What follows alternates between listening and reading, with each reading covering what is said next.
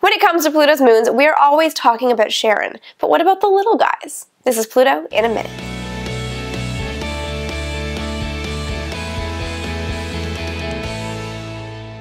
Pluto has five moons. Charon is the largest. It's actually half the size of Pluto. And the other four are completely dwarfed by this largest moon. Nix and Hydra are the largest of Pluto's smaller moons, but they are still really quite little. Both were discovered in 2005 using the Hubble Space Telescope, but it wasn't until recently that the New Horizons spacecraft was able to deliver enough data to tell scientists roughly how big these small moons are. New Horizons images of Nix show that it is largely neutral gray in color, but features an area with a distinct reddish tint, and it kind of looks like a bullseye pattern, which is suggestive that it might be a crater. Hydra, meanwhile, looks a little bit like an easy chair or a mitten, depending on how you look at it, and there are two areas that look like they've been hit with bodies and are heavily cratered. The other two moons, Kerberos and Styx, are even smaller than Nix and Hydra, and even with the best images of New Horizons, they will barely be more than dots in the sky. And incredibly, for a system with so many small moons, New Horizons did not find any more satellites around Pluto during its approach to the Pluto system.